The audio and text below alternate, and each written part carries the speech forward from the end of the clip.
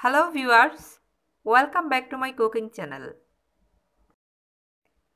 আজ আমি আপনাদেরকে চুলায় তান্দুরি চিকেন তৈরির রেসিপিটা দেখাবো। চলুন দেখে নিই, চুলায় খুব সহজেই তান্দুরি চিকেন তৈরি করতে কি কি উপকরণ লাগবে। তান্দুরি চিকেন তৈরির জন্য আমি দুটি চিকেন লেগ পিস নিয়েছি। লেগ পিসগুলোকে আমি ধুয়ে ভালো করে পানি ঝরিয়ে নিয়েছি। এখন একটি ছুরি দিয়ে লেগ পিসগুলোকে আমি ঠিক এইভাবে একটু কেটে দিব। এমনভাবে কাটবো যেন হাট থেকে মাংসটা আলাদা না যায়, আবার ছুরিটা গিয়ে মাংসের গায়ে একদম ভালো করে লেগে যায়। আমি এখানে লেগ পিস নিয়েছি, আপনারা চাইলে ব্রেস্ট পিস দিয়েও করতে পারেন।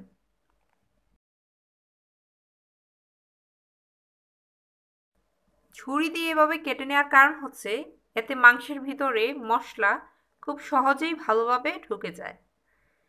চলুন এখন তান্দুরি চিকেনের জন্য মশলাটা রেডি করে নেই। তান্দুরি চিকেনের মশলার জন্য আমি এখানে এক কাপ পরিমাণ পেঁয়াজ বেরেস্তা নিয়েছি।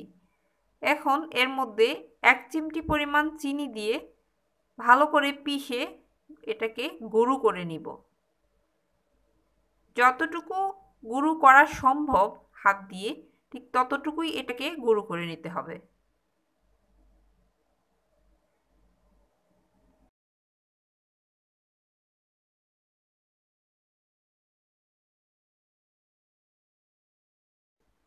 এরপর একটি বাটিতে আমি টক দই নিয়ে নিচ্ছি ওয়ান ফোর্থ কাপ পরিমাণ।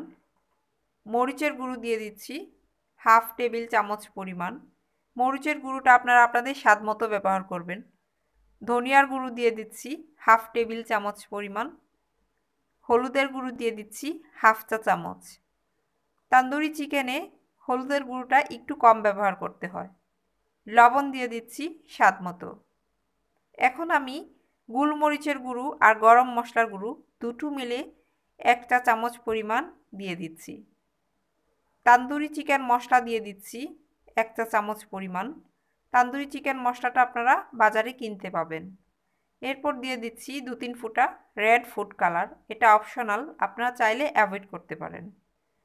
দিয়ে দিচ্ছি আদা বাটা হাফ টেবিল চামচ পরিমাণ, রসুন বাটা হাফ টেবিল চামচ পরিমাণ। এখানে আমি এক টুকরা পেঁপে খোসা সহ পেস্ট করে রেখেছিলাম, সেটা দিয়ে দিচ্ছি। এখন দিয়ে দিচ্ছি গুঁড়ো করে রাখা পেঁয়াজ বেরেস্তাটা। এরপর দিয়ে দিব সরিষার তেল ওয়ান ফোর্থ কাপ এখানে সরিষার তেলটাই ব্যবহার করার চেষ্টা করবেন, এতে ফ্লেভারটা বেশ ভালো আসে। এখন আমি সবগুলো উপাদান খুব ভালো করে মিক্স করে নিব।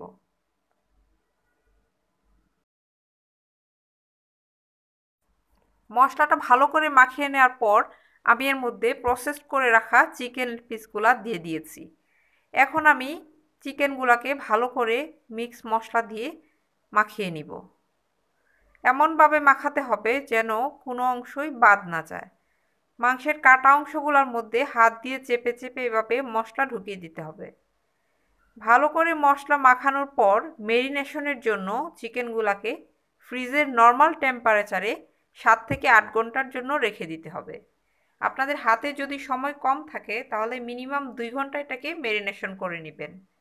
আপনি যত বেশি ম্যারিনেশনের জন্য সময় দিবেন, তান্দুরিটা খেতে তত বেশি টেস্ট হবে। আমার মাখানো হয়ে গিয়েছে, এখন আমি এটাকে ফ্রিজের নর্মাল টেম্পারেচারে আট ঘণ্টার জন্য রেখে দিব। ফিরে আসছি তাহলে আট ঘণ্টা পর।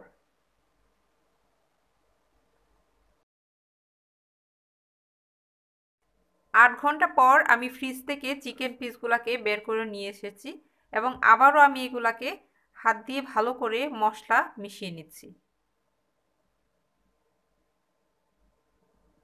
মশলা মাখানো হয়ে গিয়েছে, এখন আমি এগুলাকে ভেজে নিব।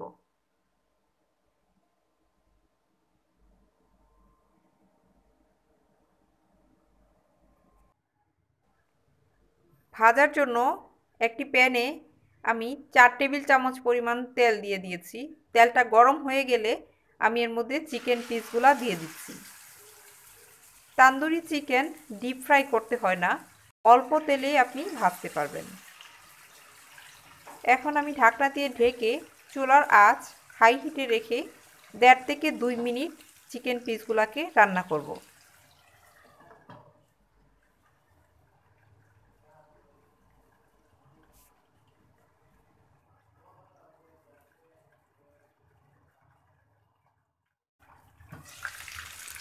দুই মিনিট পর চিকেন পিসগুলোকে আমি একটা চামচ দিয়ে উল্টে দিব।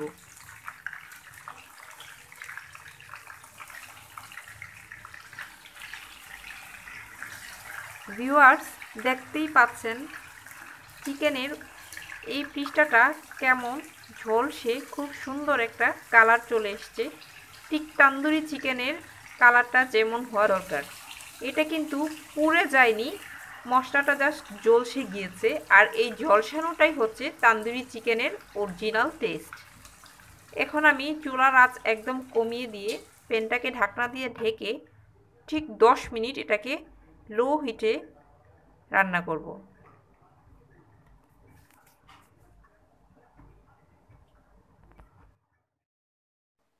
ফিরে আসলাম ঠিক দশ মিনিট পর। আর এই দশ মিনিটে চিকেনটা ভালো করে সেদ্ধ হয়ে গিয়েছে। এখন আমি এটাকে আরও চার পাঁচ মিনিট লো হিটে রান্না করে নিব, তবে এখন আর ঢাকনা দিয়ে ঢাকার দরকার নেই। মাঝে মাঝে দুই তিনবার আমি এটাকে উল্টে দিব। আমি এখানে কোনো ধরনের কয়লা বা কোনো কিছু ব্যবহার করিনি। মশলাটা ঝলসে গিয়ে যে স্মোকি একটা ভাব আসবে, সেটাই চা, তান্দুরি চিকেনের অরিজিনাল ফ্লেভার ধরে রাখবে। কয়লাটা সবসময় হাতের কাছে অ্যাভেলেবল থাকে না। তাই আমি চেষ্টা করেছি কয়লা ছাড়া কীভাবে তান্দুরি চিকেন বানানো যায় সেটা দেখানোর। খেয়াল রাখবেন মশলাটা যেন পুড়ে না যায়, কিন্তু ভালো করে ঝলসে যায়